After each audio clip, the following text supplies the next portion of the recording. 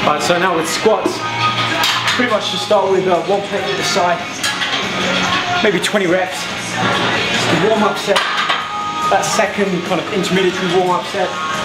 Might add a 35, again aim for 15, 20. But for that first real work set, load back on 45 and 12 is really my max and I'll try and stay at 12 reps as many weights I add on therefore I have this kind of set ceiling limit for my reps. As long as I'm increasing the weight and progressively overloading my muscle my body has some kind of simulator to grow from that ceiling limit instead of dropping the reps down as I increase the weight.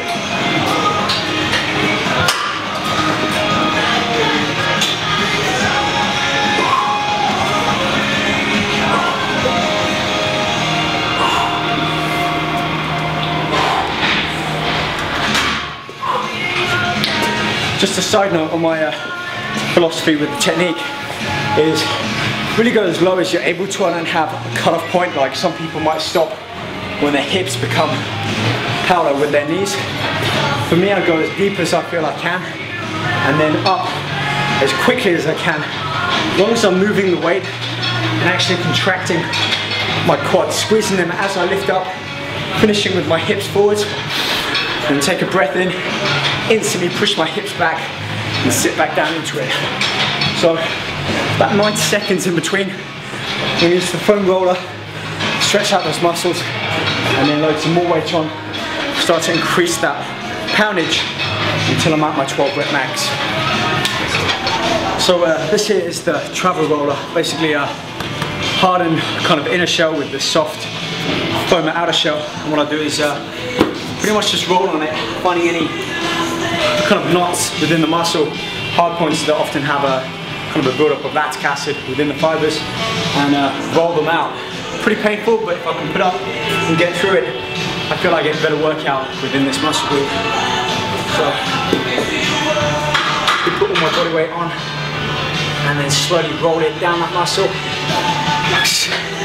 There's a, there's a point there.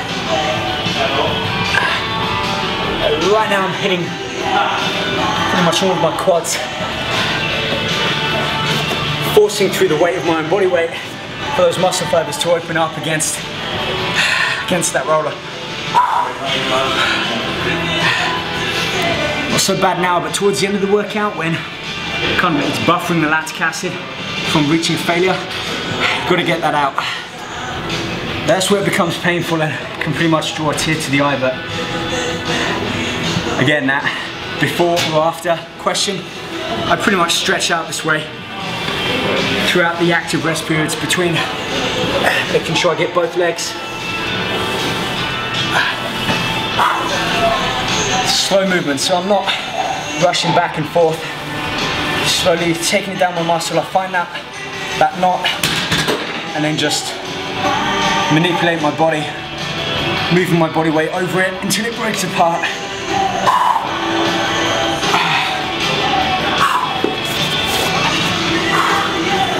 Okay, get some more weight back on the bar.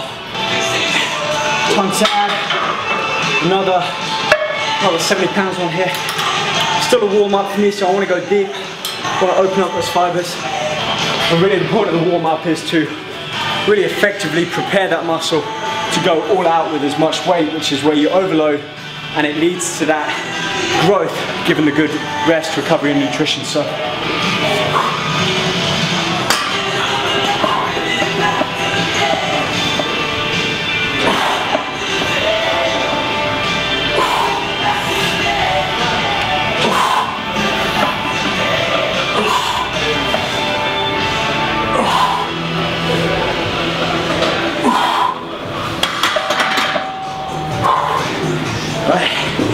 on the roller now.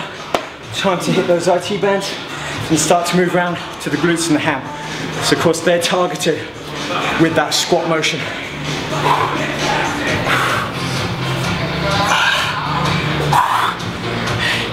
IT bands always a hard one.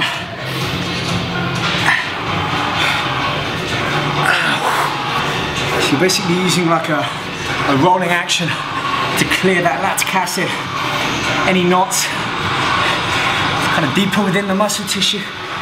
There's painful one there. And I won't always get them out, but just to be able to know where they are, target them and work on it. Like tonight when I get home, I'll work on my legs a little bit more using the foam roller. About 20 minutes all over, just on my legs and calves.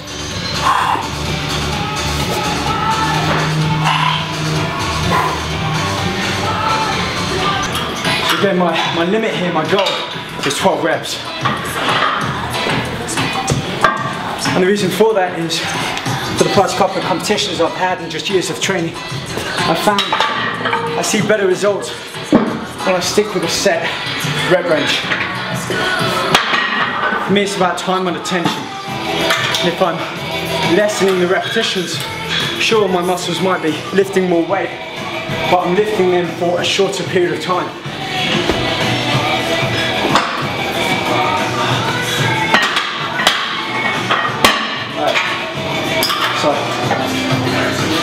Heavy-ish, but still not quite my max weight, so 12 rep, this should be somewhat comfortable.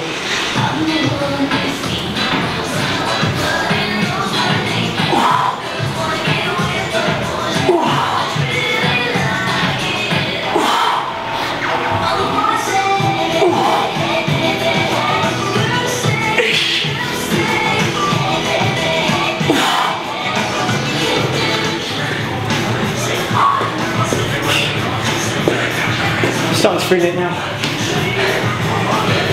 Two more work sets, again, progressively taking that weight up and then switching it up from the insertion to the origin and on the leg press.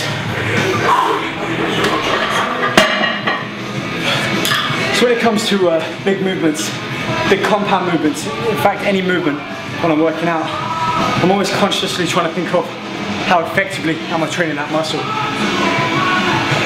When I was younger, just a few years ago, I was trying to lift as much weight as I could and find I'd be struggling, losing my technique and therefore not actually feeling it in the muscle.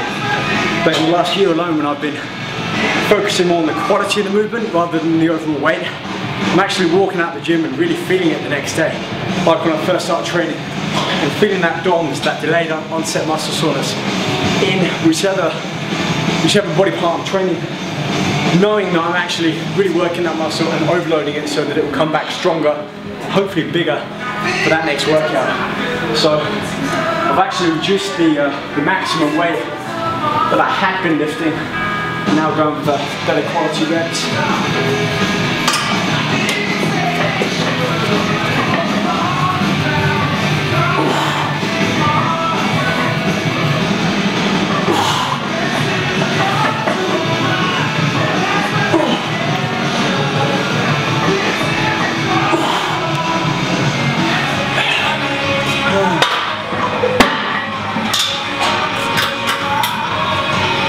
This is probably getting getting up to the weight that I would normally lift, maybe six to eight reps.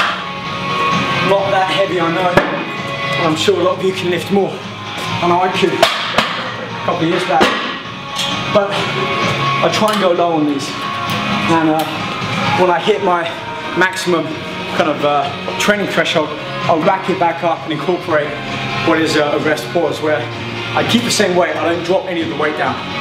But as soon as I reach my training threshold, I rack it back, give myself a rest for 10, 15 seconds max, no more, and then back up and aim for at least two or three more solid repetitions where I fire up those type 2B muscle fibers, those growth fibers that can actually grow up to 100% as opposed to 25%, a third of those normal type 2 fibers. So,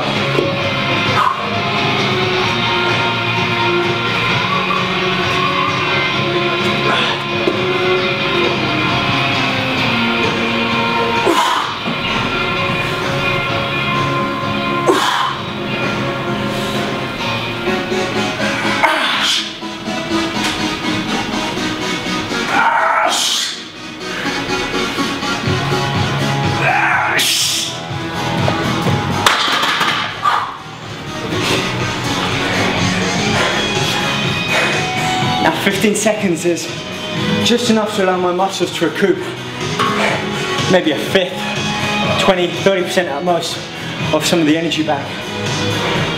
Just enough to get maybe two or three good quality reps where I'm actually using good technique and form instead of just throwing that weight up any way possible. So let's go straight back into it.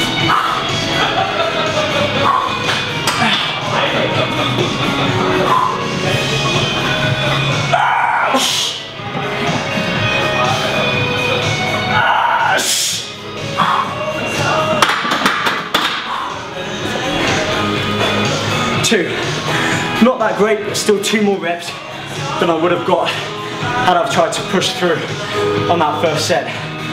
So, short recovery, and then uh, probably one final set, I'll incorporate a drop set on here. Alright guys, final set on legs. And for me, I want to push it up a little bit higher. So I've done my rest pause. I don't use that one again for the same exercise. What I'll do is go heavier and do a drop set. So from those three plates to the side, I'm adding 15 on 30 altogether. Many as I can on here. Four would be great, but as long as I can get a good two or three, I'm good. And then uh, how I feel, for this one, I'm going to take 15 and 45 off. What I would have done is maybe load it up with 35s and therefore I can take off a smaller increment each time, really about 20% of that total weight, but this will still sharpen muscle. Probably seen by now I don't have a belt, no special shoes, although sometimes I will squat just without shoes, and uh, no gloves or anything.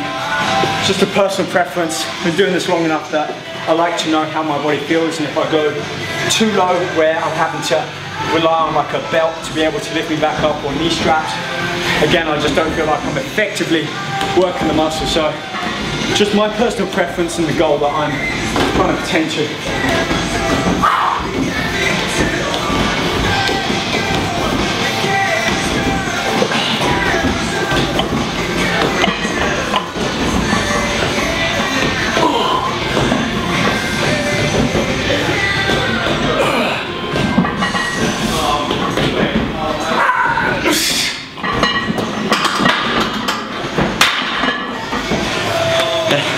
hadn't done squats for a couple of weeks because I had a, a knee problem while snowboarding so.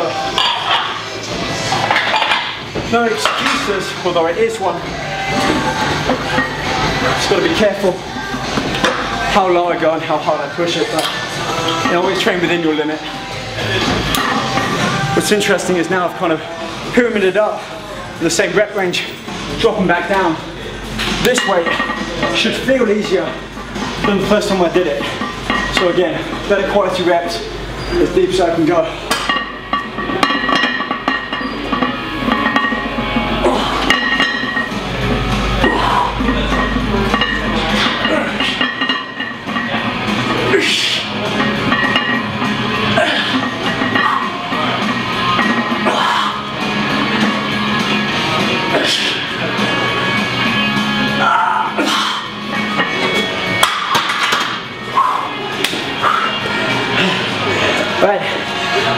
Active recovery now.